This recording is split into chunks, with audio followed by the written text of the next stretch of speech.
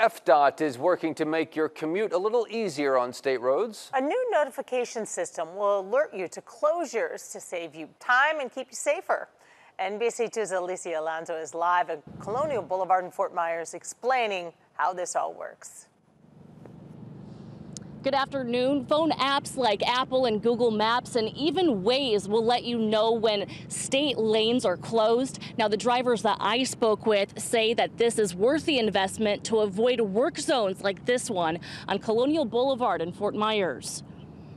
FDOT says your phone apps will get an automatic upgrade when driving on state roads and highways.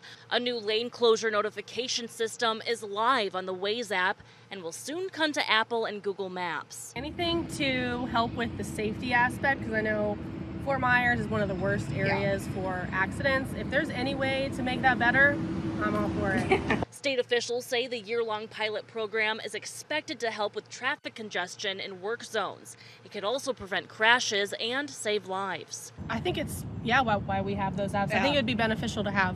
All you need to do is open a map app on your phone. FDOT says the notifications will come through in real time. Drivers say a program like this will be worth their money. Nobody wants to fork over more tax dollars for anything, right? But if this prevents safety, traffic jams, whatever, um, then I think it's wor- it's well worth it. Reporting in Fort Myers, Alicia Alonso, NBC2.